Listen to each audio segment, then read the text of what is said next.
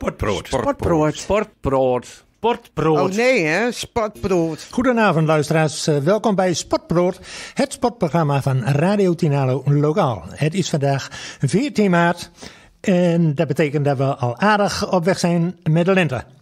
Als gasten hebben wij vanavond eh, Anna Prins tegen een uur of kwart over zeven.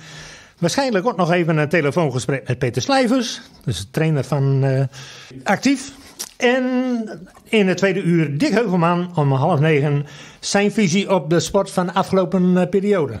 Sportbrood wordt gepresenteerd door Irin Rebbingen, Jacques Wijker en mijn naam is Henk Baron. Sportbrood. Sportbrood. Sportbrood. Sportbrood. Oh nee, hè? Sportbrood. En als het goed is, hebben we aan de telefoon Anne Prins. Dat heb je helemaal goed. Ah, dag Anne. Hoi. Wat eh, heb je ons te aan allemaal nieuwe sportdingen die, eh, waarvan jij bezig bent?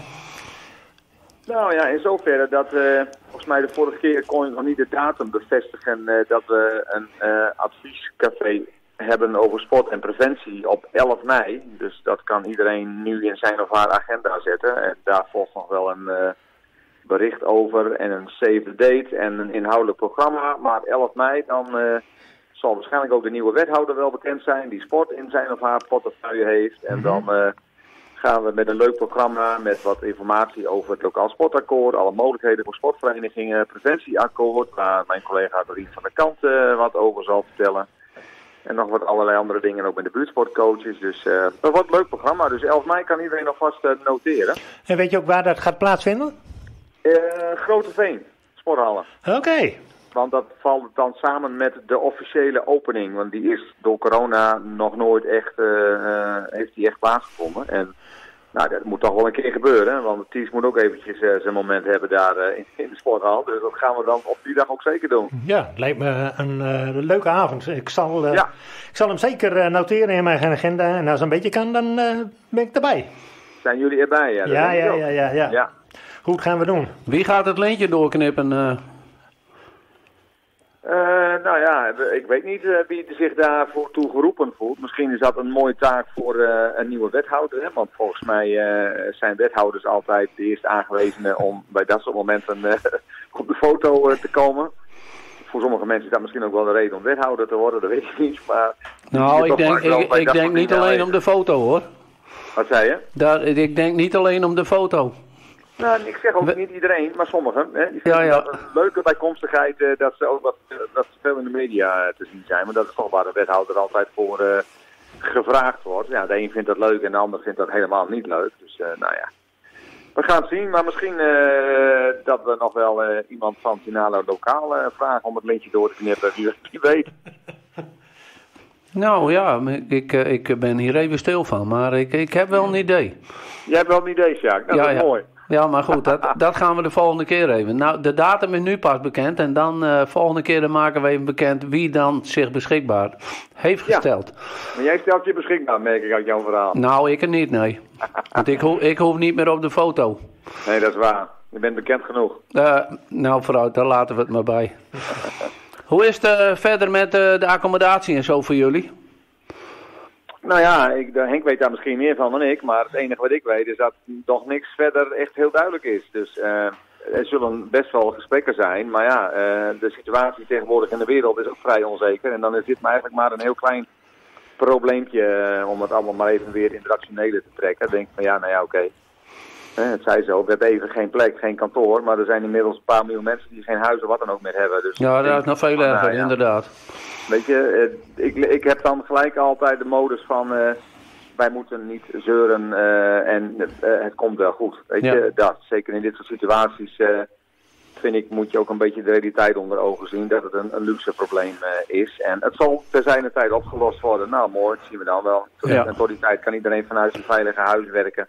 Dus eh, helemaal prima. Ja, Ik kan alleen vertellen, eh, Anne, dat eh, ik ben een simpel bestuurslid eh, van eh, de club daar. En eh, afgesproken is dat eh, iemand van de gemeente de woordvoerder is eh, rondom eh, de hele zaak rondom het wielengebeuren. Ja. En eh, ja, daar hou ik me dus maar aan.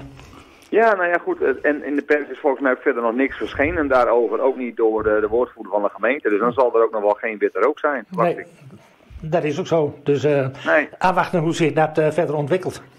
Ja, nou ja, goed. We zullen nu druk bezig zijn, eh, A, met alle opvang van, van vluchtelingen die deze kant op komen. En ik denk dat ook de hoogste prioriteit heeft. En daarnaast zijn natuurlijk gemeenteraadsverkiezingen die ook aandacht vragen. En dit zal dan wel eventjes op een laag pitje zijn komen te staan. En ik denk dat iedereen daar alle begrip voor moet hebben. Ja, dat is ook zo.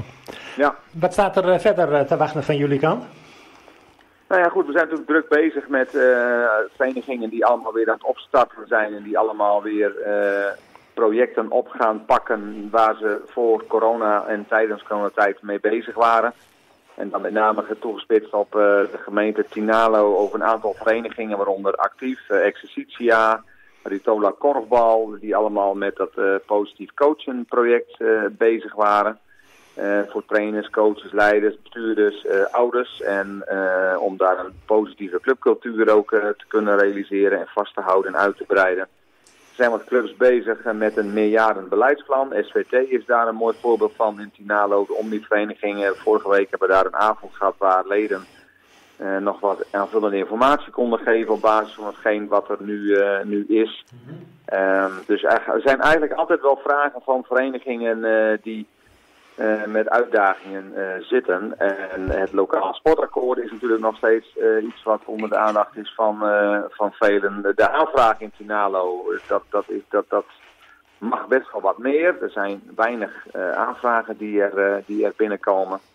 Ehm, ja goed, en verder gaan we altijd op dezelfde voet door als die we deden. En met name ook eh, om iedereen te informeren over het feit dat er altijd ondersteuning mogelijk is op welk gebied eh, dan ook. En dat zullen we ook zeker kenbaar maken. Maar goed, dat weten de vereniging in Pinalo ook wel. Maar eh, we blijven er ook mee aan de slag. We zullen ook dan daarna weer in het tweede, derde kwartaal denk ik ook weer eh, cursussen gaan aanbieden over het werven van vrijwilligers, het werven van leden, het werven van sponsoren. En we wachten ook eventjes af wat er uit die avond op 11 mei komt. Want ik ben veel meer iemand die liever eh, iets eh, doet op basis van de behoefte die er bestaat. In plaats dan alles maar over de schutting te gooien. En eh, hier, zoek maar uit. Weet je, dat werkt denk Nee, ik niet. Maar je, je zei van ehm, projecten die worden weer opgestart. Ik heb een heugelijke mededeling voor de jeugd in eh Eelde. Koningsdag. Daar was geen belangstelling meer voor om dat te organiseren. En de leden die er waren, die waren te weinig en die konden dat niet. Nee. Maar een, eh, een vergadering en alles eh, is, wordt weer het oude, de, de springkussens, de verloting, alles is er weer. En eh, Ja. dat heeft natuurlijk eh, met, eh, met het werven van personeel te maken. En eh, daar Ja. hebben, wij, hebben wij denk ik eh, ook wel wat last van, Erik. Hè? Ja, ehm, zoals jij vast wel bekend bent met Vereniging Volksvermaken eh Eelde. Ja, Die heeft eh, al jaren te maken met eh, nou, bestuursleden die eigenlijk wel wat rustiger aan willen doen. Ja. Zoals Jo Meijer, eh, Meijering, die geen voorzitter is, maar eh, eigenlijk alle taken op zich neemt. En dat, dat speelt eigenlijk al jaren. Heb jij misschien een, eh, een, een oplossing voor dat probleem? Van dat nou, bestuur? oplossing is misschien een te groot woord wat in de mond te nemen. Maar het is altijd wel goed voor dat soort organisaties om eens goed in de spiegel te kijken van voor wie zijn we er nu eigenlijk. Hè? Dus de doelgroep, eh, is er nog steeds behoefte aan hetgeen wat wij te bieden hebben. En daarnaast kijk je dan ook van wat zijn dan de taken die bij onze organisatie allemaal eh, vervuld moeten worden. En wat voor mensen en hoeveel mensen zijn we daarvoor nodig. En hoe kunnen we de taken ook evenredig verdelen. Want het is natuurlijk altijd heel erg eh, slecht tussen aanhalingstekens dat één iemand de kar moet trekken. Of dat één Ja. iemand alles naar zich toe trekt. Want op het moment dat die persoon in kwestie eh, zich terugtrekt, ja, dan valt alles in duigen. Hè? Dus je zult altijd op zoek moeten gaan naar mensen die daar ook een bijdrage aan willen leveren. Maar het is ook altijd goed om eens even in de spiegel te kijken en je af te vragen van, ja, wie zijn we nou eigenlijk? Voor wie zijn we er nou eigenlijk? En wat is ons DNA? En eh, wat is de toegevoegde waarde die wij als organisatie hebben voor eh, eh, het dorp waarin we zichtbaar willen zijn? Nou, Nou ja. oké, stel dat er animo genoeg voor is. Hoe, hoe zou jij dan aan, aan andere bestuursleden kunnen komen? Hoe zou je dat doen? Nou, dan zou ik daar een hele gerichte campagne op los gaan laten. Waarin je eerst eens even laat zien hoe leuk het is om ook een bijdrage te leveren aan zo'n mooie organisatie. Wat zo'n organisatie allemaal doet. En dat uiteindelijk iedereen daar wel een keer mee te maken krijgt. Het zij jij, het zij een gezinslid van jou of familie, vrienden. Maar dat het in het dorp een belangrijke schakel is. En dat als je dat met meerdere mensen doet, die allemaal eh, enthousiast zijn. En de meeste mensen worden best wel enthousiast van het doen van vrijwilligerswerk. Als het maar in een tijdseenheid past die ieders uh, drukke agenda toelaat. Hè? Dus je moet niet uh, ellenlange vergaderingen hebben, dat soort zaken. Maar je moet gewoon heel duidelijk met elkaar de taken en functie van iedereen bespreken, afbakenen. En daar ook een heel goed jaarkalender voor maken. Van wanneer zijn onze vergaderingen, wat zijn onze activiteiten, hoeveel mensen hebben we nodig. Dus je moet eigenlijk de hele organisatie opnieuw eens een keer goed gaan neerzetten. Heel efficiënt neer gaan zetten. En de juiste mensen ook daarbij gaan zoeken. Want ik weet uit ervaring, en dat kan ik staven met allerlei data vanaf 2012, dat het, het is het meest makkelijke om vrijwilligers te vinden. En iedereen die zegt dat klopt niet, die moet met mij contact opnemen en dan kan ik je zitten aan mijn computer laten zien dat 12 jaar lang ervaring en data uitwijst dat hetgeen wat het makkelijkste is bij dit soort zaken is het werven van vrijwilligers. Alleen, hoe doe je dat? Gestructureerd, ja. de manier waarop, hoe ben je zichtbaar en al die noodkreten die je overal wel eens leest of ziet ja, dat heeft precies het tegenovergestelde effect. Dus er zit wel een hele gedachte achter, ook oh. een hele structurele manier, maar het is prima te doen. Oké, jij zegt uh, noodkreten. Wij hebben inderdaad ook wel eens in dorpsklanken een noodkreet gedaan, maar ook wel eens de mensen aan het woord gelaten, uh, enthousiaste mensen over, over dat werk. En ook dat heeft uh, weinig opgeleverd. Tot, niet, ja, tot eigenlijk niks. Dus levert niks op, hè? Dat, nee, dat, maar, dat mensen. En dan denken ze, nou. Nee, maar niet alleen noodkreet, ook enthousiaste verhalen over het werk, zeg maar. Ja, dus. maar dan is mijn wedervraag altijd van, is het dan ook voor iedereen dan duidelijk van, wat doe je als organisatie? Wat verwacht je dan van bestuursleden die daar een zitting gaan nemen? Wat zijn de competenties van die mensen? Wat is de vergaderfrequentie? Hoeveel tijd is iemand er gemiddeld per week mee kwijt? Nou, daar is ook wel over gepraat, ja. Of, ook, dat is ook wel neergezet. Dus dat is ook wel neer uh, belicht. Ja, nou dan is de volgende vraag. Dus dat heeft nog niks opgeleverd, nog weinig opgeleverd. Nee, en dan kom je dus bij een heel uh, uh, tricky puntje, is van, dan moet je dus afvragen wat het bestaansrecht nog is van jouw vereniging, dan wel organisatie, als je in zo'n situatie terechtkomt. En dat is vaak niet een leuke vraag. Maar wel een terechte vraag. Als blijkt dat alles wat je al gedaan hebt, dat dat niet werkt. Wel noodzakelijk. Nou, dan moet je je afvragen, voor wie zijn we er nog? En moeten we dan nog wel de dingen aanbieden die we aanbieden? Omdat het steeds door dezelfde mensen wordt gedaan die er wel in ja. gedaan Maar hoe, hoe, hoe, kan het dat in een naburige gemeente, bijvoorbeeld uh, in Pijzen, ook een volksvermaken, identiek, ja. dat die dat wel voor elkaar krijgt? Hoe, hoe kan dat dan? Nou, dat heeft denk ik met de mentaliteit van een dorp te maken. En ik weet uit ervaring, omdat ik natuurlijk al 25 jaar uh, door Drenthe heen en weer cross en ook in Groningen, Overijssel, Friesland. Een dorp kan uh, uh, gigantisch verschillend zijn met betrekking tot motivatie, sportieve prestaties, ambities enzovoort. En dan zie je dat als je kijkt naar Eelde en Pijzen, hoef je mij niet uit te leggen waar het dan in aan ligt. Bedoel, uh, en datzelfde geldt ook voor waar ik woon, Zuid-Laren en Annen. Mhm. Ja, dat zijn ook twee hele verschillende dorpen, waarin je toch ziet dat bij het ene dorp een aantal dingen veel makkelijker voor elkaar uh, worden gekregen dan in het andere dorp. Ja, nou, nou moet, ik wel, moet ik wel bij aantekening dat bij Volksvermaak en Eelde het ene evenement uh, wel aanslaat, dus wel aanslaat en het andere niet. Dus, en dat, is, nee. dat speelt in Pijs ook wel. Maar ja, nou, en Eelde is het wel. Kijken, van wat is dan de behoefte die er is? Want als bijvoorbeeld één evenement wel aanslaat en het andere niet, dan is misschien de behoefte aan het evenement wat niet aanslaat, is er niet. Dan moet je kijken naar waar is dan wel behoefte aan. En dan zul je dat zorgvuldig moeten onderzoeken van waar zouden we dan als volkvereniging volksvermaken, hè, waar uh, heeft u behoefte aan? Wat zou u leuk vinden als wij gaan organiseren? Nou, op het moment dat je dat inventariseert bij de mensen, maar ik ben ook wel nieuwsgierig als ik rond ga rijden in Eelde, Paterswolde en ik ga op een aantal deurbelletjes drukken. En ik vraag van, kent u de vereniging Volksvermaken en ook wat ze doen? Mhm. Dan weet ik niet wat voor reacties ik krijg. Hè? Dus je moet ook altijd vragen, hoe zichtbaar en bekend ben je in het dorp waar je actief bent? Kijk, de oudere ik dacht wel dat ze wel aardig bekend zijn, hoor. Nou ja, dat weet je niet zeker. Hè? Kijk, de oudere nou. generatie zal dat wel weten.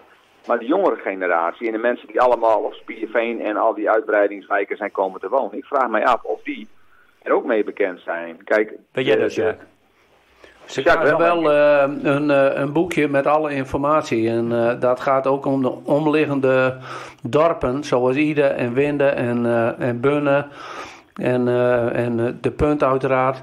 De, die, de oplage is 6000 boekjes en er staat alles in. Dus ze krijgen het in de brievenbus. Ja. Nou, Sorry, nou hadden we vorige week hadden wij eh, de voorzitter van eh, de Dobberridders eh een interview mee. En allerlei vragen die gesteld werden. Zo van welke activiteiten onderneemt de club. Was een van de grootste activiteiten was Badje 200. En die wordt Ja. eh, georganiseerd rondom de langste dag eh, in de zomer. En eh, mijn vraag is ook van, hoe staat het met de deelnemers? En dan zegt hij ook van, ja, dat is natuurlijk nog een vraag. Wij hebben het als bestuur, hebben een aantal mensen op het oog. Dat zijn zeg maar de, de dragers van de, de organisatie. En het is ook zaak om een, een, een werkverdeling te maken onder de leden. Eh, hoe werf je die? Wat is de pep talk? Zoals je net zei, eh, van hoe, hoe breng je dat? Ja. En hoe, eh, hoeveel aandacht geef je daaraan? Maar ook, wat krijg je daarvoor terug? Ja. En dat is vaak een, een onderbelicht iets. Want als wij de Dobberridders dat organiseren, ja, dan komt er ook geld binnen.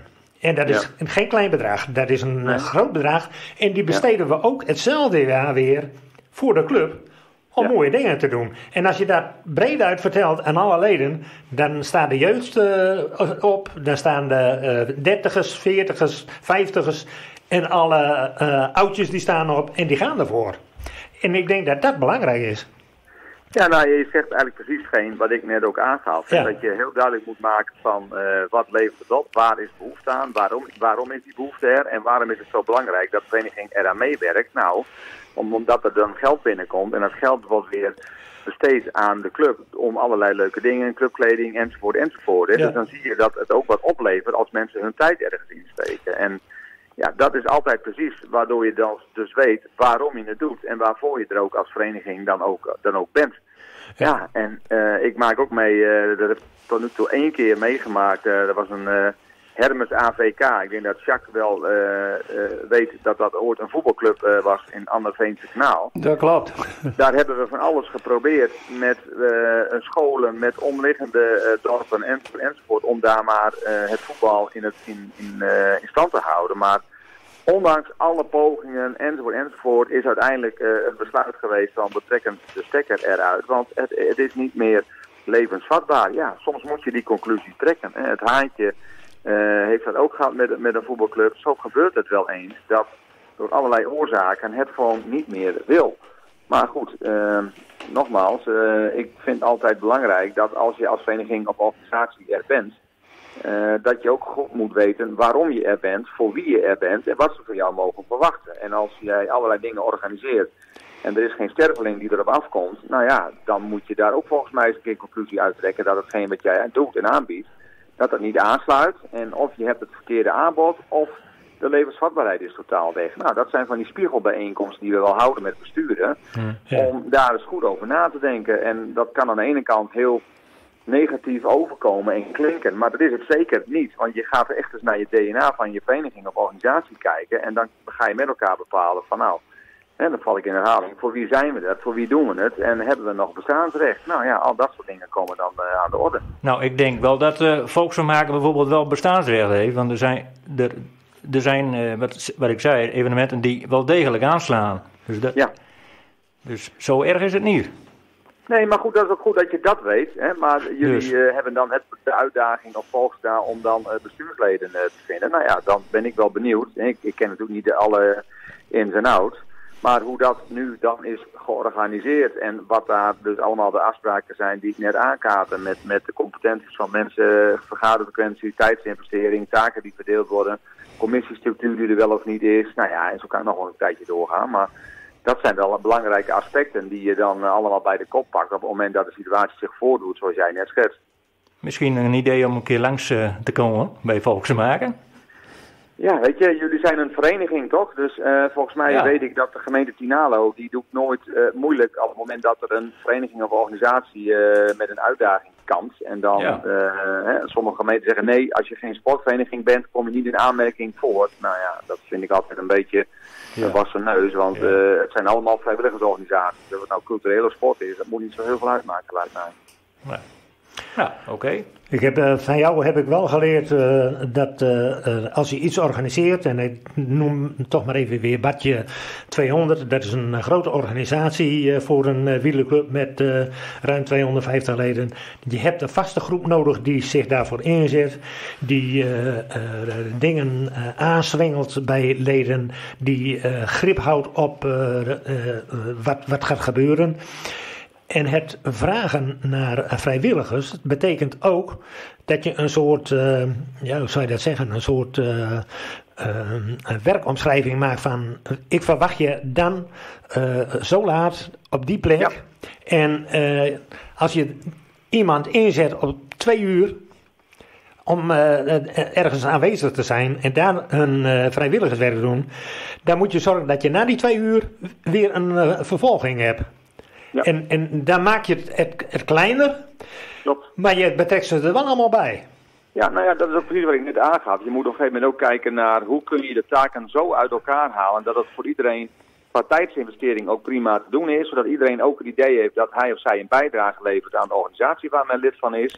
En dat je het ook voor iedereen zo klein mogelijk houdt, want dan doet het ook niet een enorme belasting op de mensen hun vrije tijd. Hè? Want dat is natuurlijk wel een belangrijk issue. Ja. En er zijn altijd mensen die zich met ziel en zaligheid voor de club inzetten. Die Ja. mensen verdienen alle respect en waardering. Ja. Maar dat is een uitstervende ras. Ja. Maar als je dat weet tegelijkertijd kun je ook erop inspelen van nou, wat wil de huidige generatie dan wel? Nou, die zijn allemaal best wel bereid om iets te doen. Maar dat iets jij als vereniging dan goed in kaart brengen, zo klein mogelijk maken en dan een beroep doen op alle leden die lid zijn van jouw Precies. vereniging. Want tenslotte ben je niet voor niets een vereniging.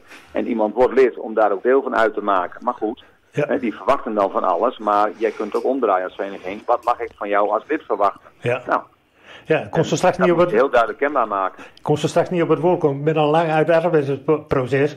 Maar het is eigenlijk in feite een functieomschrijving. Ja, dat is het ook. Hè? En dan een combinatie zoeken met mensen die eh, elkaar goed eh, overweg kunnen. Ja. Dus ook Nou ja, daarin, de combinatie maken. Maar eh, Ja, ja, het verschil daarom, aan, eh, aan en met eh, even Bartje 200 en dat mag wel mei 2000 worden. Dat is een eenmalige actie.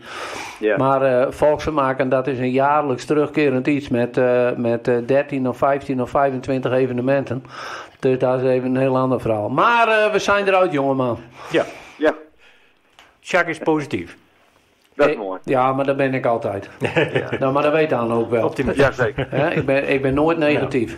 Maar ik, eh, ik was eh, niet zo positief over die scheidsrechter bij de FC. Want dat wil ik jou toch nog even vragen, die rode kaart. Ik heb, eh, ik heb het niet live gezien. Ik heb wel eh, op eh, Twitter even snel eh, het bewuste moment gezien. Maar dan denk ik van, als je daar al rood voor gaat trekken, dan denk ik van, jongens, kom op, het is geen zaalvoetbal. Maar als je ziet wat in zaalvoetbal tegenwoordig al mag, dan denk ik van, nou, het was niet een, eh, een, een bewuste kopstoot. Eh, Larsen eh, gaat ook rechtop staan. En gelukkig zei de scheid achteraf ook dat hij fout is geweest. Maar waar je de discussie over moet voeren is dat een VAR op zo'n moment niet ingrijpt door hem naar de kant te roepen en zeggen, Ja. joh, hè, dit is te zwaar. Dus dat was volgens mij in alle praatprogramma's weer een issue, die VAR. Ja. Natuurlijk is er veel kritiek op. Hè. Het gaat ook vaak niet goed. Maar het gaat ook vaak juist heel goed. Maar dit was weer het moment dat je denkt van wat voor ervaren slash onervaren iemand zit er dan achter de beeldschermen in Zeist. Want ja, als je toch zelf een beetje gevoetbald hebt, dan weet je dat dit gewoon eventjes een emotie is. En eh, wegduwen, gele kaart geven en doorvoetballen. Klaar. Ja, maar eh, Ja. de, de VAR was een internationale scheidsrechter van onze korps. En dan, eh, dan denk ik van, eh, dit gaat even... Maar dit was even tussendoor, Janne. Ja. Ja, Wij, eh, we houden ermee op, eh, heb ik begrepen. Want Kees, die, Kees die wordt zenuwachtig, de Ja, dat is technicus. goed. Nou, dat, moet, dat is het laatste wat we moeten hebben. Dus eh, daar hang ik gauw op. Ja, zo. Hey, eh, Bedankt, en werk, hè? Tot de volgende Oké, keer. ja. Hoi, hoi. Doei, doei. Sportbrood. Sportbrood. Sportbrood. Oh nee, hè? Sportbrood. Als het goed is, hebben wij Peter Slijver aan de telefoon. Klopt dat? Ja, dat klopt. Goed zo. Nou, dit is fantastisch. Waar dat muziek of... eh? Ja, die muziek ook, maar die heb ik zelf niet uitgezocht, Peter, hoor. Oh, oké. Nou, maar Bee Gees is niet verkeerd, toch? Nee, zo is dat. Eh, Nieuw Roden, hè? Ik, eh, mijn vroegere club. Maar eh 04. Ja. 04. Ik, ik had ook niet verwacht dat de uitslag zo hoog zal uitvallen. Hoewel, 0-4. Als je kijkt naar het wedstrijdbeeld, dan is het dik en dik verdiend. En eh, op de eerste 10 minuten na hebben we nou ja, eh, echt tegenstand gehad eh, eh, of eh, 15 minuten. Hè. En daar hebben zij ook nog een beste kans gehad. Onderkant laat, bal eruit. Dus, en toen hadden wij nog niet echt een, een kans gehad. Dus ja, als zo'n bal erin gaat, maar ja, dat is dus weer als. Hè, dan, dan zal het misschien heel anders zijn, zijn gelopen. Maar gelukkig Ja. voor ons stoot hij dus onderkant laat, eh, laat eruit. En daarna hebben we eigenlijk de hele wedstrijd eh, nou ja, gedomineerd, eh, kan je wel zeggen. In Ja, de rust dus- was nog maar, nog maar 1-0. Ja. Maar na rust maakten we er drie bij. Dus einduitslag 0-4. Ja, ja, maar het is in het verleden wel eens anders geweest. Ik heb even teruggekeken in de, in de historie. En Nieuw-Roden won de laatste jaren vaker volgens mij. En in 2016-17 werd het zelfs 6-4. Ken jij dat herinneren? herinneren? herinneren- herinneren? Was jij er zelf bij? Nee, daar was ik niet bij. Nee, nee. nee, Wat een uitslag? Ja, zeker. Dus Ja, dat, dat kan nee, dus ook. ik, eh, Maar nee, dit is... ja, eh, dat kan. Dat kan. Maar toen was ik geen trainer van, eh van de Nieuw Roden. Eh volgens mij zat ik toen Nee, bij... toen was jij trainer bij, bij actief, hè? Dus, eh, maar ja, jij- bedoel ik, bij actief. Toen Ja, ja. Ik, nee, toen was ik volgens mij eh, trainer bij eh, Groningen Boys. ah, Oké. Maar ja. goed, eh 6-4. Maar Maar hoe eh, was de wedstrijd op zich? Want ehm, ik heb eh, de laatste thuiswedstrijd eh, toen eens meegemaakt. En toen was het een beetje heel onvriendelijk. Nou, dat viel nu wel mee hoor. Ik bedoel, eh, het was wel eh, op scherp van de snede. We hadden ook een scheidsrechter die, eh, die ook wel wat, wat toeliet. We hadden een scheidsrechter die wij eh, in de beker eh, nog hadden eh, in de voorbereiding, zeg maar, eh, tegen uh, Smulde 94. Dus wij wisten wel een beetje wat voor scheidsrechter we hadden. Die liet toen ook al eh, behoorlijk wat, eh, wat toe. Houdt wel van mannelijk voetbal.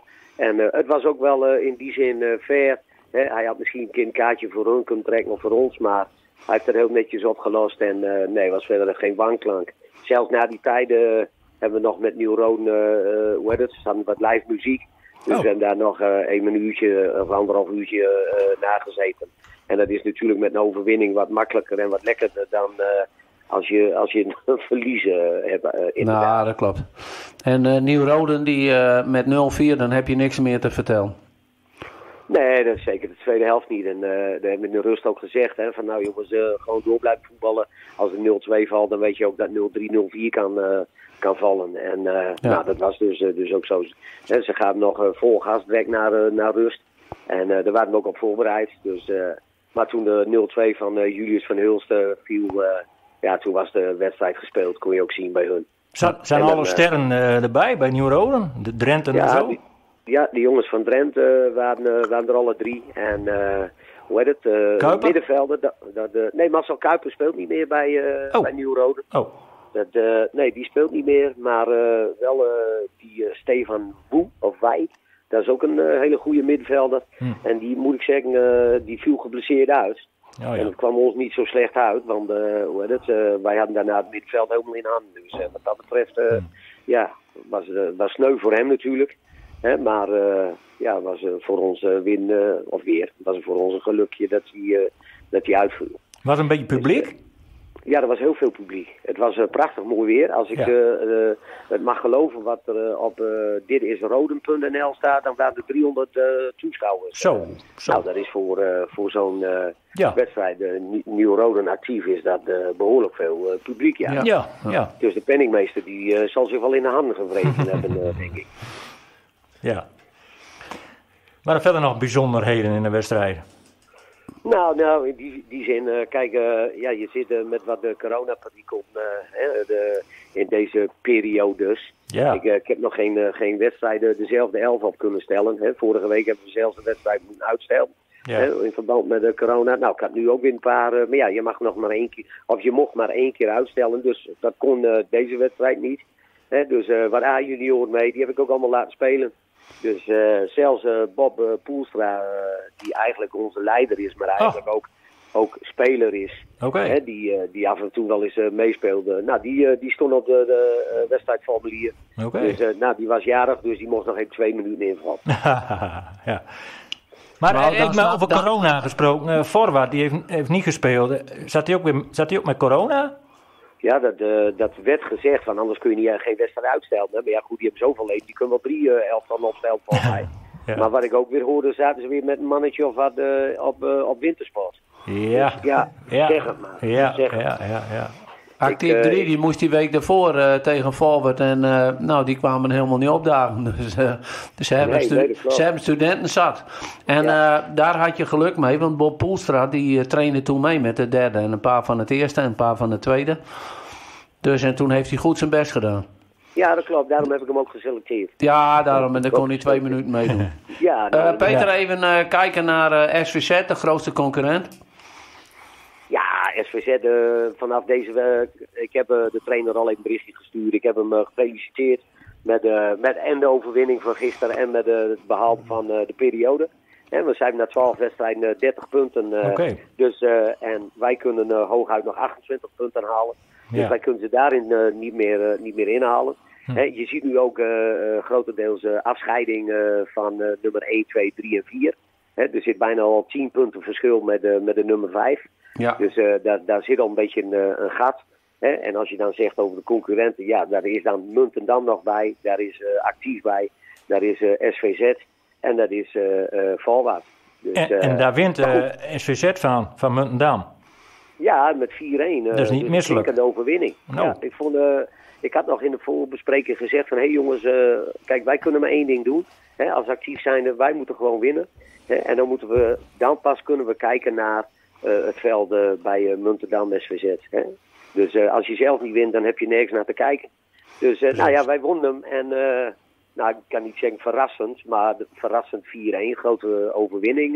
Ja. dat had ik niet, niet verwacht. Nee. Maar ja, SVZ verdiende, eh, als je 12 wedstrijden gespeeld hebt, 30 punten en nog maar 6 verliespunten. Nou, dan heb je gewoon verdiend de eerste periode gewonnen. Heel Ja, goed. dan, dan Ja. doe je het heel goed. Ja. Maar actief doet het ook heel goed, Peter. Hey, eh, hartstikke fijn. eh, Ja. we, we, we bellen jou weer. En eh, bij alle succes, hè, dan kunnen we er ook heel gezellig over praten. Ja, nee, dat is altijd zo. Hè. Hey, ik bedoel, als hey. je wint, dan eh, Goed zo. Ja. heb je... Ja, Hey, bedankt. hartstikke bedankt. Hoi, graag hoi. gedaan. Oké, prettige avond. Hoi. Mooi. Sportbrood. Sportbrood. Sportbrood. Sportbrood. Oh nee, hè? Spatbrood. Ja, maar als ik dit zo hoorde, is het meneer Van Gelder. Is Ja, zeker. Is, langzamerhand aan ja, natuurlijk is dat meneer Van Gelder. Niet anders. Ja, jongens, voor jullie is dat ik, ik, eh, ik sta helemaal tussen jullie in en ook hier tussen eh, alle Eeldenaren, de, laat ik zo zeggen, door hele, alle mensen in Tinalo. En dat is onze kracht. Goed zo. En eh, dat zal ik ook niet gaan veranderen hoor, als we Nee, ook mee te worden. Zo. Maar we gaan het even hebben, Jacob, over ijshockey. Ja joh, Nou lees ik de krant en eh, dan zie ik één stand. Ik denk, nou, die is mooi gelijk. Ja. Maar dan kijk je een dag terug en dan eh, is het eh 3-0 verloren. En dat is niet goed. ja. Nee. Nee, dat klopt. Wij, eh, kijk, Tilburg is eh, de nummer 1 geworden in de normale competitie. Nou, we weten allemaal dat dan de nummer 1 die gaat tegen 8 en 2 tegen 3 en zo gaat het door. Nou, zij hebben ook alle hun wedstrijden in de, in de kwartfinale gewonnen. Eh, dus ja, dan blijven ze nummer 1 staan. En Ja, en dan komen ze weer tegen degene die dan weer eh, vierde, plek- vierde plek staat. Omdat wij tegen Leeuwarden gespeeld gewonnen hebben.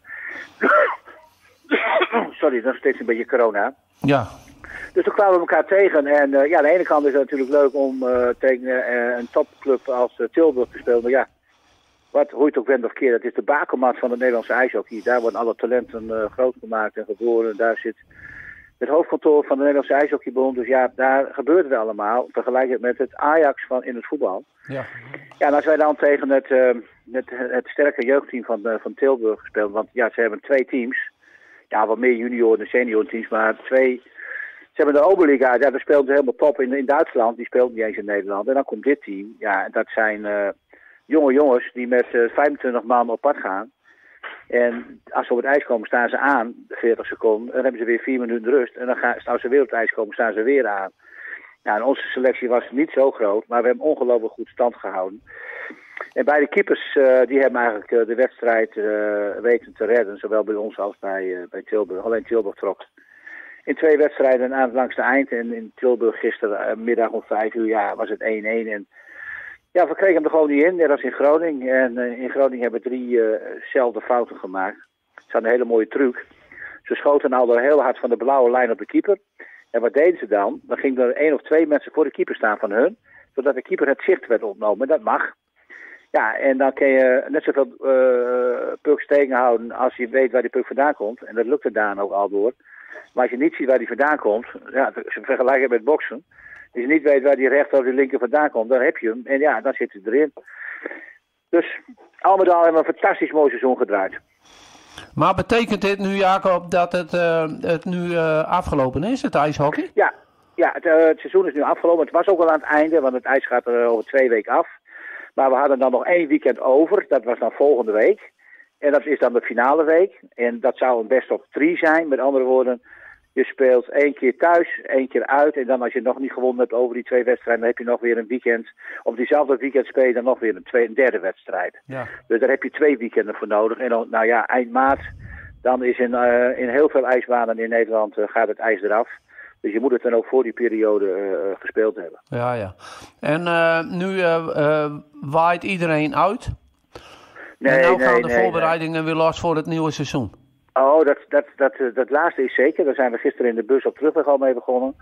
Eh, gelukkig zijn alle jongens die eh, bij ons spelen, dat zijn allemaal jongens die in, in, in de stad of in de gemeente Groningen wonen, laat ik het zo zeggen. Ehm, en die blijven gewoon daar wonen, die doen hun werk en studeren.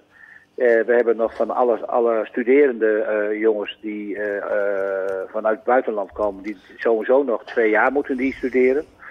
Dus daar hebben we nog twee jaar ple- plezier van.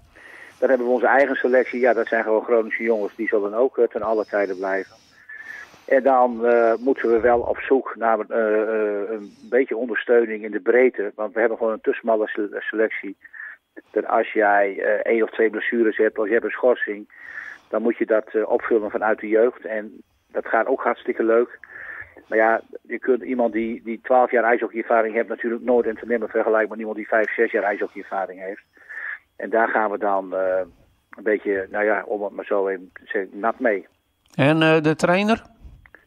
De trainer zijn we zeer content mee en eh, die, daar hebben we ook gesprekken mee al gevoerd in, in, in Portlood, om het zo maar te zeggen. En die heeft de intentie om, om te blijven, maar die zegt wel, ik wil toch wel even kijken met welke selectie dat is. Ik, wil, ik blijf bij Gijs sowieso, want ik vind Gijs een mooie club. Hij, hij traint alle jeugdteams en, en hij, hij traint de dames. Hij traint de opleiding. Hij is hoofd van de RTC van ons, die, eh die s'morgens traint. Hij zegt, maar ik moet ook heel veel energie in het eerste steken. Maar dan wil ik ook net zoveel energie terug hebben van de spelers van het eerste. Ja. Ja, en dat is natuurlijk door allerlei omstandigheden. Jongens die gestopt zijn in verband met corona. Jongens die er nog geen... Die kregen de motivatie niet meer om de ene week wel te spelen, de andere week niet. Dan ben je met voorbereiding bezig voor de wedstrijd. En dan krijg je op vrijdag te horen dat een team niet komt om, de, om, om, om corona. Ja, dan, dan steek je daar ongelooflijk veel tijd in. Heel veel vrije tijd. En, en, en die jongens ja, die krijgen geen enkele vergoeding. Dus die betalen het allemaal uit eigen portemonnee. Ja, en dan wil je toch dat wedstrijdje spelen. En ehm, ja, dat, dat, dat motiveert sommige jongens niet. En dat zal niet alleen bij de sport zo geweest zijn, dat zal bij het werk ook zo zijn. Dat is, dat is in alle geledingen. En laten we hopen dat we eh, vanaf volgende week van alle restricties af zijn. En dat we een, eh, seizoen kunnen draaien vanaf eh, september eh, dit jaar. Die gewoon weer, eh, ja, het klinkt een beetje raar, maar dat het gewoon normaal gaat. Want ja, het woord normaal is, ja, dat, dat, moet weer normaal worden. Ja. Ja.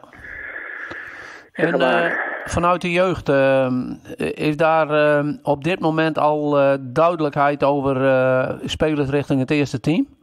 De eerste Nou, selectie? sowieso, sowieso, sowieso hebben wij een, een, een viertal jeugdspelers. Ja, en dan moet je niet denken naar jongens van 12 of zo, maar die tussen de 14 en 16, 17 jaar zijn.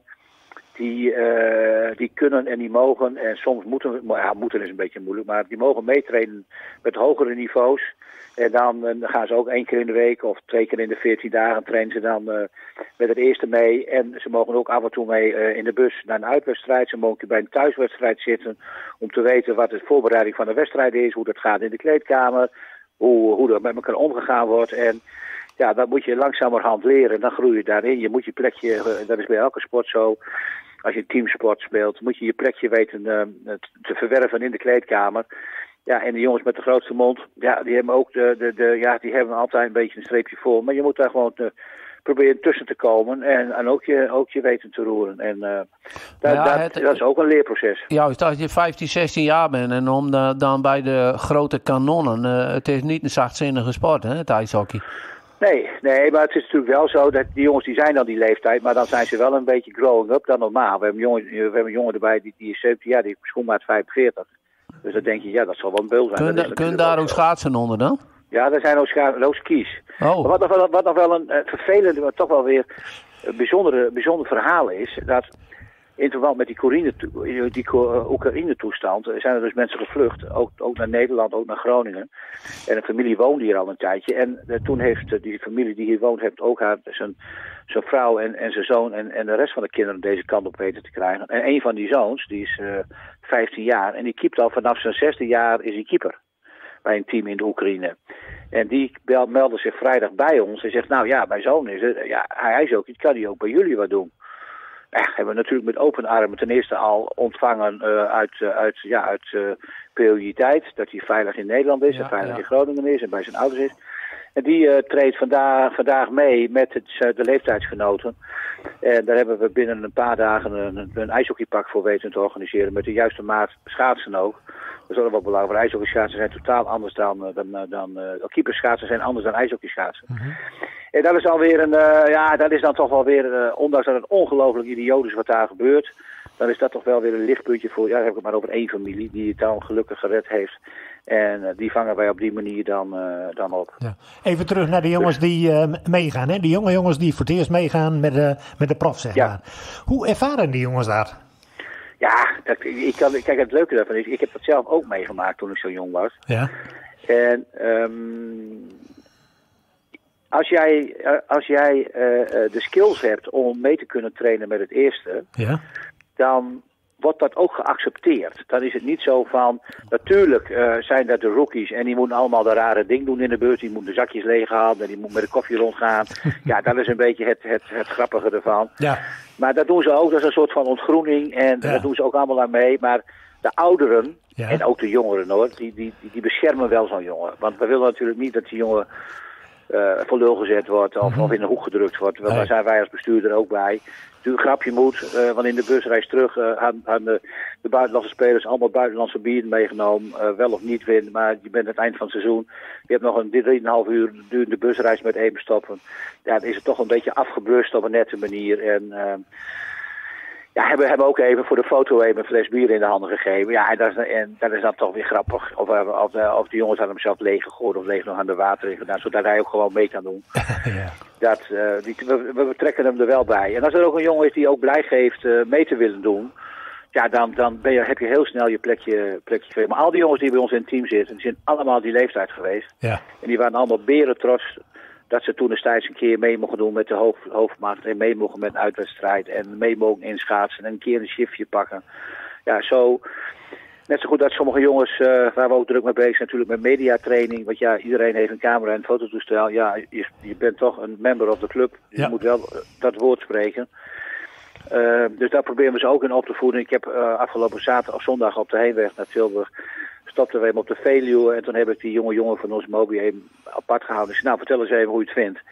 En dat filmpje, dat ja, was zo even 40 seconden. En dat heeft hij heel netjes gedaan. En die hebben we ook eh, met toestemming van zijn ouders op Facebook geplaatst bij ons op de site. En alleen maar credits. Dat vonden die ouders ook mooi om te weten, om te zien hoe hij, hoe hij opgevangen wordt. Maar goed, net wat ik zeg, ik heb dat zelf meegemaakt. En alweer als ik merk dat daar eh, mee gespeeld wordt. Ja, nou, maar dat kan dan ook sta niet. ik daar zelf eh, heel erg in. We zijn, dat- grote jongens nette ook van mensen. mij. Ik, eh, eh, je had eh, de, de, dat keeperspak heb je geregeld. Die leggers die die keepers hebben. Ik zag bij het wereldkampioenschap, dat zijn hele grote vlakken. Die leggen ze op het ijs. Daar kan die puck nooit meer doorheen. En onderdoor. Nee, nee, nee. Dat is een, dat, dat, was, dat is een nieuwe techniek van de keepers. Dat doen ze de laatste jaren. Oh, kijk, ze gaan op een gegeven moment heel snel, dat is de butterfly noemen ze dat, gaan ze op de knieën. Gaan ze dus op de knieën en, en dan is links en rechts is het doeltje al bezet. Dan, kun je, dan is hij al dicht.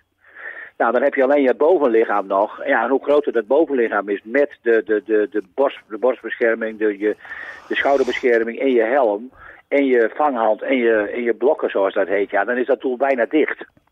En dan is het hartstikke moeilijk voor spelers. En, en je ziet dat natuurlijk, dan komen ze alleen op de keeper aan. Ja, in, in acht van de tien gevallen schieten ze op de keeper. Ja, een soort magneet. Maar dat heeft geen enkele zin natuurlijk. Je moet dat hoekje vinden die nog leeg is. En die is er.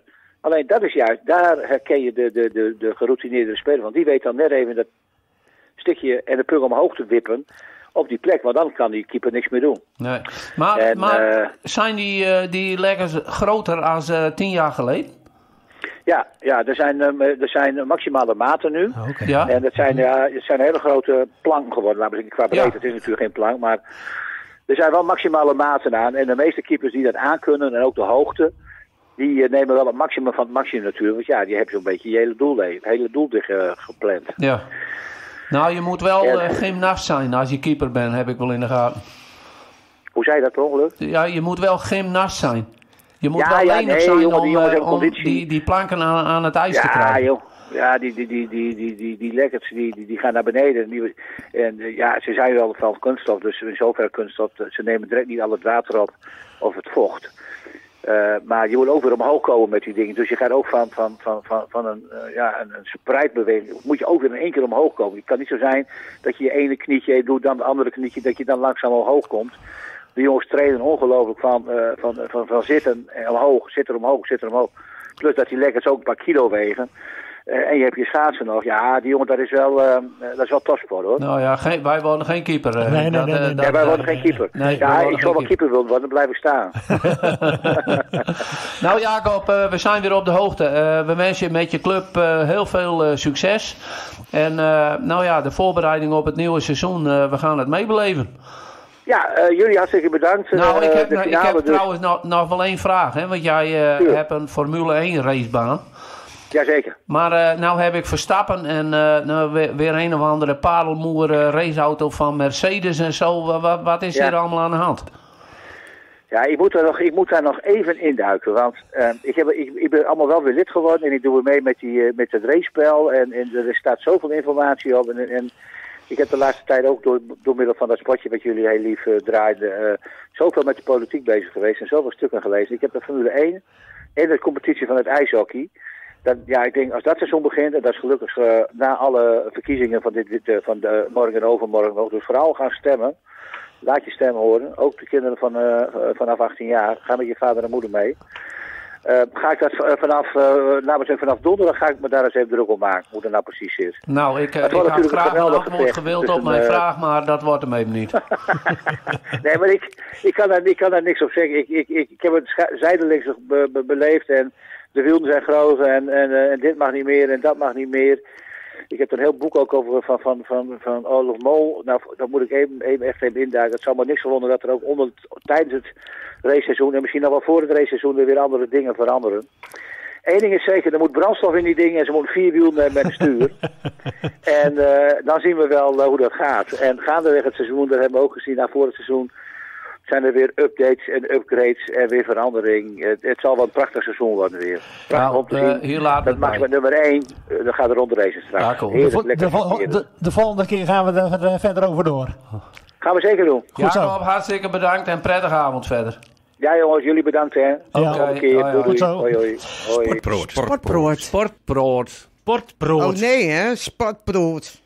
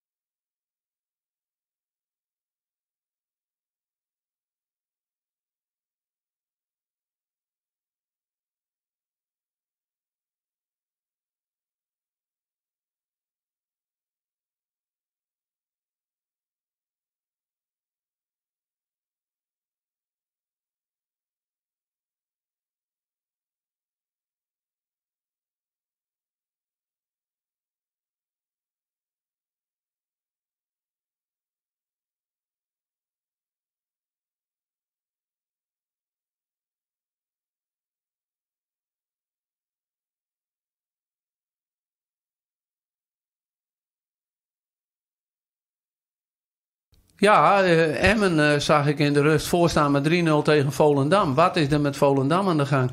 Ik denk dat Dick Heuvelman daar even naar gekeken heeft. Ik denk het ook, ja.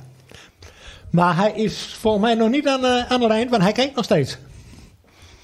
Dus we moeten even de zaak even volpraten tot we Dick aan de telefoon krijgen. Ja, maar voor Emmen, hè, het, het, was natuurlijk een wedstrijd tegen Jong Utrecht. Dan maken ze twee goals en de tweede helft, nou ja goed, consolideren noemt men dat. Ja. Maar nu tegen Volendam in de rust met 3-0 voorstaan, dat is natuurlijk wilde. En de laatste keer was Excelsior, die was uit bij Volendam. Nou, dat werd 2-5 en dat is een, een toch wel een goede domper voor de club. Ja. En, uh, maar goed, uh, Emmen die, uh, die doet het goed uiteraard. Als het goed is, dan hebben we Dick aan de telefoon. Ja, hier ben ik hoor. Ja. Kijk jij naar Emmen, Dick? Ja, zeker. Kijk naar Emmen. Ik, moet, ik zit in de FC Emmen podcast, dat is RTV Drenthe, elke week. En dat is morgen vroeg ook, dus ik moet wel even kijken. En uh, 3-0 voor, wat is er met Volendam aan de hand? Nou, Volendam is net zoveel in als afgelopen vrijdag en ook wel eerder in de competitie. Volendam heeft een hele slakke verdediging. Ja. En dat werd gecamoufleerd iedere keer, omdat ze zelf ook makkelijk scoren door Muren onder meer en Van Michel. Maar uh, ja, ze kunnen die goed verdedigen en ze geven de ene kant naar de andere weg. ja. En Emmen die heeft er optimaal gebruik van gemaakt. En het is Heel nu... knullig, de eerste was heel knullig. Die, uh, die verdediger rechtsback die dacht de bal over de lijntje kunnen te laten lopen. Nou, werd net voor de lijn afgepikt door die Assenoen en die schiet hem voor. En uh, mooie actie van Mendes. Ja, dat was 1-0 en zo gaat het maar door. Nee, Volendam heeft een hele vlak achterhoede. Dat is uh, simpelweg de, de, de, ja, de, hoe heet het, de conclusie. Ja. En uh, nou ja, het is, het is rust uh, 3-0, dus dat is uh, kat en bakje. 4-0. 4 al? Ja, het is 4-0. Ach, ik uh, keek net op teletext, dan moet je nagaan, hè, heb ik te weinig stroom zeker. Ja, ja, jij moet, uh, ja, heb je de televisie aan bij jullie in de studio dan? Ja, maar da daar zie ik Henk in beeld en nou, daar is al meer dan genoeg. Nee, het is 4-0. Oh, nou, en dan is nog de maar rust. De wedstrijd is gelopen. Ja, dit is gelopen. Nou, we toch even over voetbal... Wat, even over voetballen hebben, Dick. Je, heb je de FC ook gezien tegen NEC?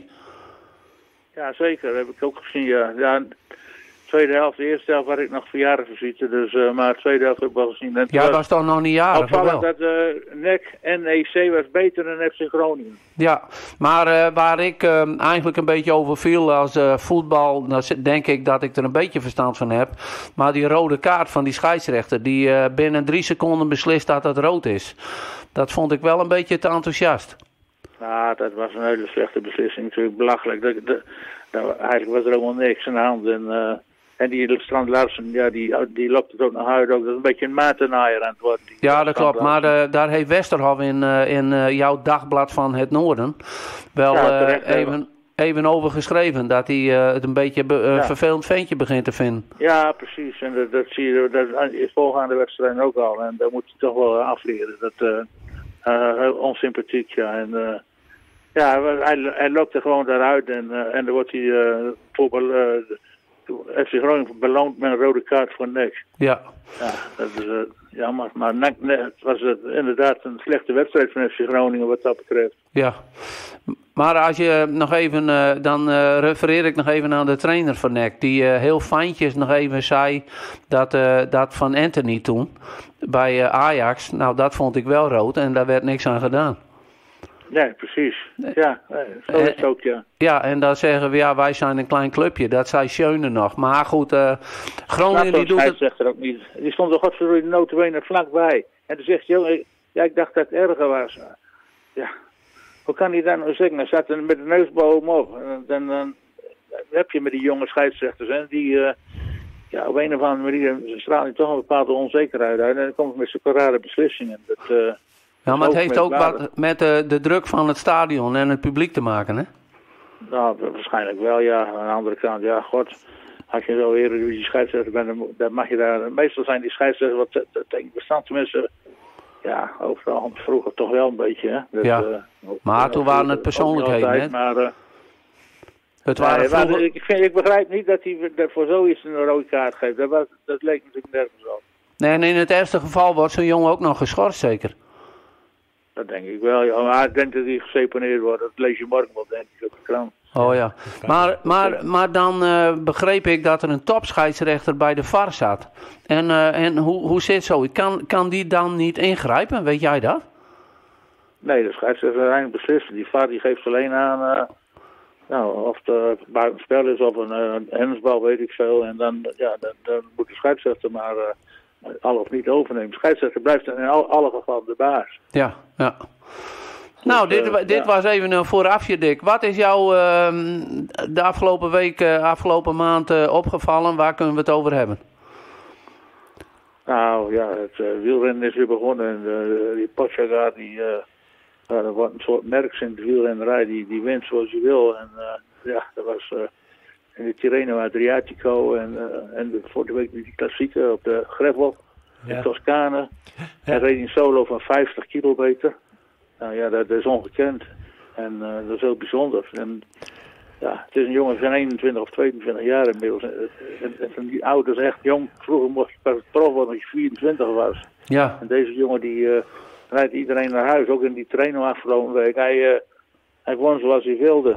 En hij, was, eh, die, die dag voordat hij won had hij ook kunnen winnen. Want hij werd verkeerd gestuurd omdat een eh zijngever eh, de weg niet aanwees. Dan had hij ook gewonnen. Ja, Dus, eh, klopt. ja, dat is heel bijzonder. En gisteren won ook niet alleen Potjeka, maar ook zijn landgenoot Roglic van de Jumbo-ploeg. Die won ook, maar toch minder overtuigend dan Pogacar. Ik denk dat Pogacar eh, toch eh, beduidend beter is eh, dan Roglic. Die Toch, ja, die is inmiddels 32. Dat, is- dat sleept wel een beetje op, denk ik. Klein Ja. beetje, niet veel, maar hij moest door Van Aert gered worden, hoor, gisteren. Als hij niet mee was geweest, Van Aert, dan... eh, had hij, die, had die prijs niet gewonnen, Roglic. Dus ja, interessant worden hoe dat de komende weken zich ontwikkelt richting de Tour de France. Maar eh, uit jouw woorden begrijp ik wel dat er eh, eigenlijk maar één is die, eh, die het dan kan winnen. En moet winnen. Ja, zoals, zoals ik er nu tegenaan kijk, dan... ja, tenzij er kan natuurlijk van alles gebeuren. Die jongen kan geblesseerd raken. Ja, maar, maar dat even... maar normaal gesproken gaat die Pogacar... eh en die, die won ook al in, die, in, in de woestijn ergens. eh, ik geloof in eh, Abu Dhabi. Abu Dhabi, ja, klopt. Oh nee, Oman, de ronde van Oman. Uh-huh. Die won hij ook eh, makkelijk. Hij, eh, bergop rijdt hij zo bij iedereen weg. Ja. Maar Dus dat ja, en die steekt er echt met kop en schouders bovenuit. Op Het- dit moment. Het is wel een kwaliteit. En in de eerste Tour de France die die won, vond ik hem een eh, wieltje plakker. Ik denk, als Jumbo-ploeg had ik hem niet mee naar de streep genomen. Maar daar Wie ben vond, ik... wie vond jij het wieltje? Die pop, Potjugar toen. Nee, daar is geen wieltje sprakken. Nee, maar de- in de eerste heeft hij alleen maar achter uh, Roglic aangereden. En zijn ploeg was niet sterk genoeg om daar het voortouw te nemen. Hij heeft dat helemaal op eigen kwaliteit gedaan. Ja, En die laatste tijdrit bergop, waar een wereldtijd uitkwam, dat had nog nooit iemand gepresteerd. Toen dacht Nee, ik bij mezelf, hoe kan dit? ja, hij schijnt een bijzondere gaven te hebben. Dat klopt. Dat, in zijn jeugdjaren. eh, hij woont bij- een berg en die... eh, een flinke steile berg in Slovenië, daar in de buurt van Ljubljana. En daar traint hij altijd. En daar had hij al eh, in zijn jeugdjaren eh, eh, ja, eh, indrukwekkende tijd neergezet met die beklimming. Die Ja. eh, ging steeds sneller. En eh, ja, hij, en dan heeft hij ook nog een bepaalde eh, eh, opname, eh vuurstofopnamecapaciteit wat eh, ongekend is, eh, wat, wat ik allemaal zo lees. En ja, en het is natuurlijk ook, eh, mensen beginnen er ook altijd over, ja, zo- misschien dat er al eh, verboden spul in, in, in, in speelde. Ja, dat, dat, dat kan maar zo, dat weet je niet. Het, Ja, eh, maar daar gaan we maar even niet van uit, toch? nou ja, kijk, als jij zo ver, zo ver de boom uitsteekt, dan ben je altijd verdacht in het profpeloton. Want het zijn allemaal toprenners. Ja, als je er zo ver de boom uitsteekt, zoals Ja. die jongen nu doet, Ja. Ja. ja, dan kan je altijd eh denken, nou, nou, klopt dat wel. Ik wil niet zeggen dat het zo is, maar je moet ook niet raar kijken als een keer wat aan de hand is. Nee, dat klopt. Maar dat, dat, dat, eh, dat is nu Maar nog niet... voorlopig gaan we daar niet van uit, want ik, ja, ik lees dat hij een soort medisch wonder is. Wat dat betreft, hij is, nou ja, eh, met zijn vezels en alles, eh, een bijzonder product van moeder natuur. Dan, eh, ja, dan, eh, dan, eh, dan eh, voordat we nog naar een ander bijzonder product gaan, maar ik wil nog even bij wielrennen blijven. Van der Poel, die komt weer terug. Wat gaan we daarvan verwachten? Nou ja, Van der Poelen die heeft net zo'n stijl als eh Potjekar, alleen die kan niet zo goed eh, omhoog klimmen. Is geen klimmer, maar ja, als hij eh, goed is, dan, maar dat verwacht ik nog niet direct. En ja, dan kan hij ook de Ronde van Vlaanderen winnen en, andere, en Parijs-Roubaix. Dus, eh, maar ja, gezien de manier, de wijze waarop hij nou terugkomt, langzaam. En hij, eh, ja, hij is maanden eruit geweest, dus ja, daar kun je niet te veel van verwachten. Nee, ik denk niet dat hij eh, direct mee gaat spelen. Maar ja, Van der Poel is ook een apart hoor. Die, Ja, eh, ik, ik, denk precies het, ik denk precies het tegen, tegenovergestelde, eh, Dick. Ik denk als hij de eerste wedstrijd terugkomt, bijvoorbeeld eh, in, in een grote ronde, hij pakt gelijk de overwinning. Nou, dat zou best kunnen. Dat zou ook, ik, daar hoef je niet verbaasd van te staan. Nee. Nee. Maar goed. Ja, nu is hij toch wel lang uit geweest. En hij heeft toch een tikkie gehad hè, met die rug. Hè. Oh nee, eh, zeker. Dat, eh, dat, dat heeft toch wel echt eh, impact gehad. En, eh, dus maar de vraag hoe hij dat nou, hoe hij nou terugkeert. Hm. Dan, eh, Voorlopig heeft men nog niet in actie gezien. Dus eh, ik, ja, Ronde van Vlaanderen rijdt hij. Dus voor die tijd zal hij ook wel wat wedstrijdjes rijden. Misschien rijdt hij dit, komend morgen en overmorgen. heb je die twee klassiekers in eh, de Belgisch-Franse grens. Eh, dat, zal hij waarschijnlijk ook rijden. Dus Ja. ja. ja. En, en dan nog even over de ronde van Drenthe, eh, Dick. Was Ronde je, van Drenthe, ja. was, je er, was je erbij? Nee hoor, nee, ik heb alles op televisie bekeken. Dus eh, Ja, nee, dat, eh, dat, kon, dat kon ik niet bijwezen. Nee. Ja, dat kan wel, maar ik was ook nog jarig van de week. Dus dat kon ik was zaterdag. Dus eh, we hebben geen tijd om eh, naar de Ronde van Drenthe te gaan. Wellicht heb je televisie gekeken dus. Ja, was alles op televisie. En de, de bel stond zelfs de Ronde van Drenthe uit. Ja, Dus de eerste keer is op zich heel bijzonder natuurlijk. Want die eh Ronde van Drenthe kwam vroeger nooit op televisie. En nou gisteren zelfs op de Belgen en eh, Eurosport. Dus ja, dus, eh Ronde van Drenthe zit wat dat betreft qua publiciteit in de lift. Maar de winnaars, ja, houdt niet over. Het zijn geen grote namen die daar eh, rijden. nee. En, dat, komt, dat kan ook niet, want de ene helft rijdt in eh, Parijs-Nice en de andere helft rijdt in Terreno waar de uitgekomen. ja. Ja, dan blijft de, de derde keuze een beetje over die. En, en, en zo'n Dries van Gestel, nou, ik had er iets van gehoord. Ik, ik heb toch veel wielrenners, maar Dries Ja. van Gestel heb ik nog niet van gehoord. Ik had er wel die van gehoord. Nou, en ook wel verdiend, want eh, hij reed, op het juiste moment reed hij weg uit die kopgroep. Ja, Dat deed hij knap. ja, ik zag ook Dus- gelijk dat wordt de winnaar. Ik zag het gelijk. Ik zag gelijk dat dat de winnaar werd. Ja, ja, ja. Die anderen die hebben het, eh, ja, die, die, die, die krijg je dan als één man wegrijdt en, en, en je bent met vijf of zes man. Ja. Dan zeggen die anderen die achterblijven, ja, rij jij het gat maar dicht. En die anderen denken, ja, ja, rij jij het gat maar dicht. Ja. En, ja. en dan, ben je, dan zit je gauw in gewonnen positie. Ja, zo is het. Dan moet Dick, je, Dick, wij zitten ook in gewonnen positie, want we zitten aan de tijd. is het tijd? Is het Ja, tijd? ik, ik had nog, nog zoveel vragen aan jou, en, eh, maar dat doen we dan een andere keer, Dick. Ja, wanneer komen we nou weer eens in de studio? Want die Ja, want- corona, maar want- we zijn er lang voorbij hoor. Ik heb nog lectuur voor jou, hè? ik heb nog een mooi boekje thuis liggen. Oké. nou, dat is voor, jou, dat is voor jouw bibliotheek. En eh, nog gefeliciteerd met je verjaardag. Je bent mij nu een paar maanden de baas, hè, qua leeftijd. Ja, heb je een boekje over golf? Nee, eh, nee, nee, nee. Nee, maar die heb jij al. Oké. Dat is een Ja, boekje ja. van Shell hè, uit 1955. Precies. Maar eh, Oh, wij ja. treffen elkaar. Hey, hele prettige avond en geniet van Emmen, Volendam. Jo, Jo, Hoi. doeg. en groetjes aan iedereen. En dat zullen we doen.